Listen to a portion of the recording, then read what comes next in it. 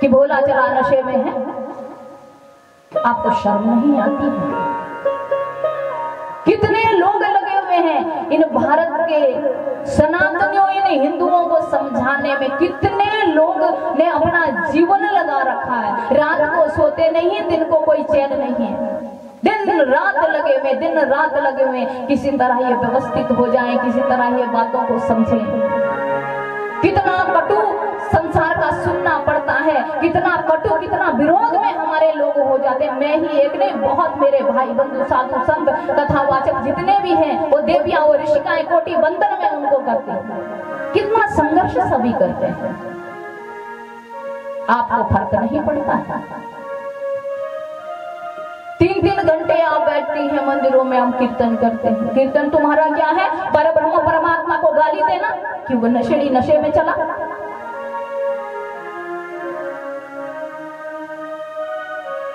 इन अधार्मिक कुरीति, असंस्कृति इनके ऊपर रोक लगाओ। अपने कदम इस पृथ्वी से टिका लो नहीं तो प्रलय आप देख ही रहे ये ज़रूरी नहीं है कि अभी हिमाचल में आ रही है तो दूसरी जगह नहीं, सब जगह ऐसा ही होना है। घर घर में हर लोग दुखी हैं, ये भी हमें पता है। जो पुण्य आत्मा हो, उनके घर में ही देव तत्व है। ऐसे भी देवों को हम जानते हैं। तो अधर्मता से हट जाइए। भक्ति का मतलब ये कदापि नहीं है कि तुमने तो बिल्कुल ही अधर्म का मार्ग पकड़ लिया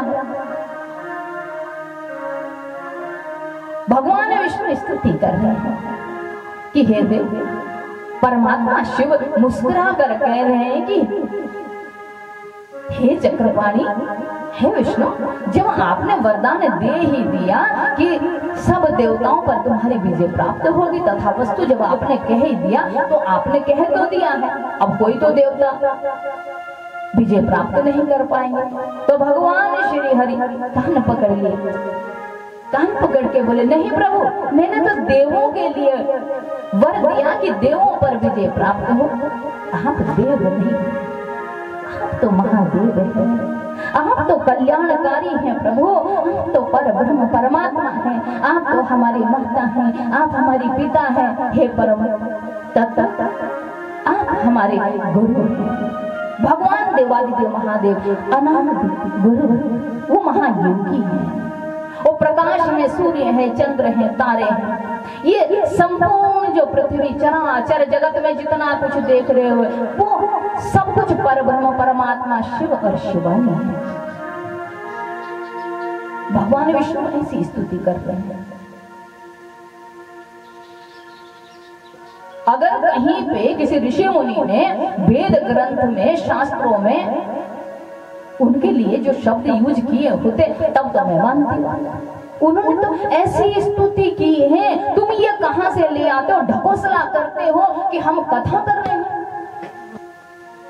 हम कथा सुन रहे हैं। फिर ऐसे अभद्र भजन भी गाते हो। अपनी आत्मा को गाली देते हो। क्या तुम्हारी तरह वो भी नशे में रहते हैं? वो ईश्वर है। जहाँ तक किसी की वाणी और सोच नहीं जाती, उनकी सत्ता वो है।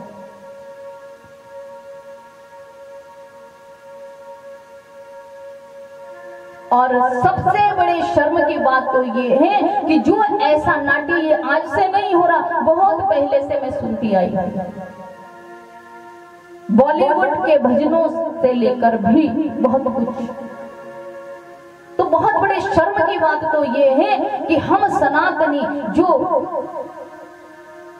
जानकार है, जिनके पास उस बात का ज्ञान है, वो विरोध क्यों नहीं करते अधर्म का?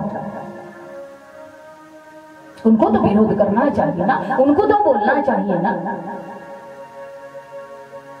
सौ बार बोलेंगे, नहीं फ़र्क पड़ेगा हम दो सौ बार बोलेंगे, कुछ फ़र्क पड़ेगा और जब हम तीन सौ बार बोलेंगे तो फिर कुछ फ़र्क पड़ेगा फिर हम कोई युक्ति लगाएँगे हम चार सौ बार भी बोलेंगे।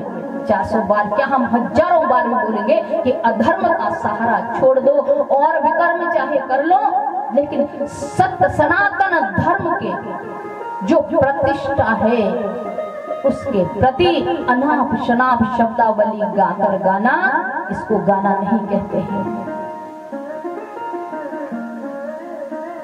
ये गायकी नहीं है, ये अधर्म है। अधर्म को गा रहे हैं। बोले सतगुरुदेव भगवान। बोले देव देव महादेव की।